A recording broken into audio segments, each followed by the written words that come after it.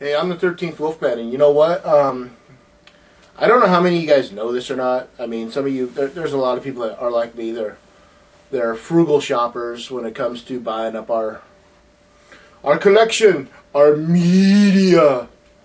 Um, but uh, when it comes to steelbooks, I see that Best Buy has released a new line of comic book cover steelbooks.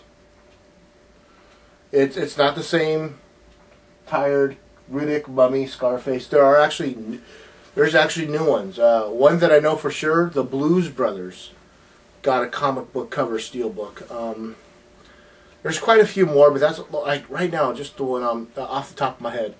Go to uh, go to BestBuy.com.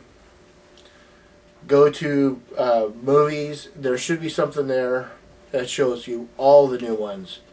It's very cool. So just thought I'd you know throw that tip out there for you. I'm the 13th Wolfman. I'm on the prowl.